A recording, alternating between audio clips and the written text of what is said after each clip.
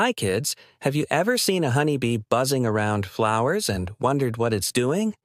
Bees are some of nature's hardest workers, and today we're going to explore their incredible world. Inside a beehive, thousands of bees work together to make honey, care for baby bees, and help plants grow. But how do they do it?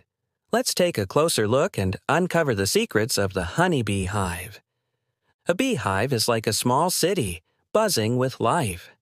There are thousands of bees, but not all of them have the same job. The hive is made up of three main types of bees the queen bee, the worker bees, and the drones. Each one has an important role to play in keeping the hive running smoothly. The queen bee is the most important bee in the hive. She is the mother of all the bees and spends her entire life laying eggs sometimes up to 2,000 eggs in a single day.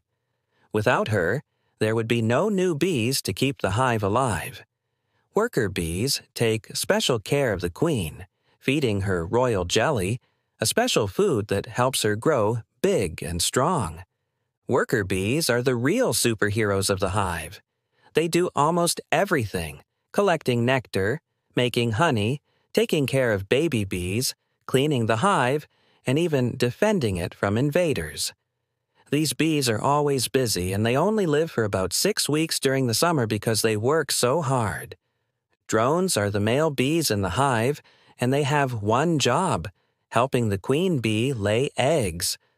Unlike the worker bees, drones do not gather nectar, make honey, or protect the hive. They just eat and wait for a chance to mate with a new queen. But once summer ends, the worker bees push them out of the hive because they don't need them anymore. Inside the hive, bees create a beautiful golden honeycomb made of wax. But did you know that bees are expert builders? They make their honeycomb cells in the shape of hexagons because this shape holds the most honey while using the least amount of wax. Isn't that amazing? Bees make honey by collecting nectar from flowers they store the nectar in a special honey stomach, then bring it back to the hive, where they pass it from bee to bee until it turns into thick, sweet honey. This honey is stored in the honeycomb and sealed with beeswax until the bees need it for food. Bees have a special way of talking to each other.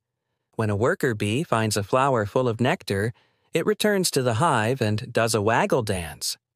By shaking its body and moving in circles, it shows the other bees exactly where to go to find more flowers. Bees don't just make honey, they help plants grow too. As they move from flower to flower, they carry pollen, which helps plants produce fruits and seeds. Without bees, we wouldn't have apples, strawberries, or even chocolate. Did you know that bees grow up inside the hive, just like a little family?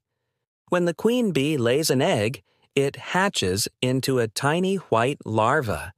Worker bees take care of these larvae by feeding them pollen and honey. In a few days, the larva spins a silk cocoon around itself and transforms into a pupa.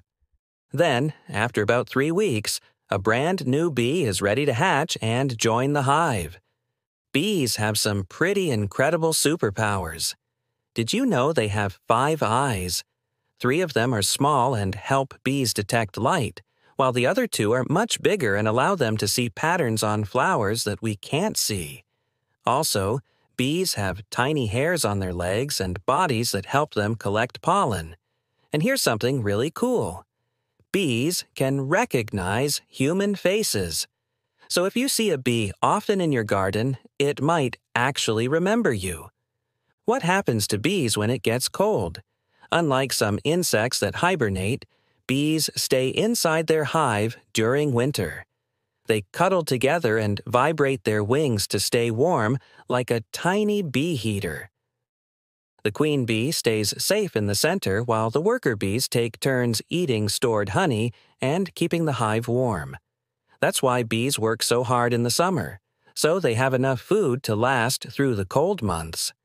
Bees may be tiny, but they are facing some big problems. Things like pollution, pesticides, and habitat loss are making it harder for bees to survive. If bees disappear, many of our favorite fruits and flowers will disappear too. But don't worry, we can help. By planting more flowers, avoiding harmful chemicals in our gardens, and protecting wild bee habitats, we can make the world a safer place for bees.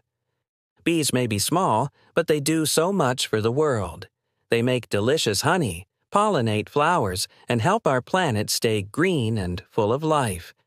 Next time you see a bee buzzing near a flower, remember to say, Thank you, little bee. And if you want to learn more about nature and science, don't forget to explore, ask questions, and keep being curious. Thanks for joining us on this buzzing adventure inside the world of honeybees.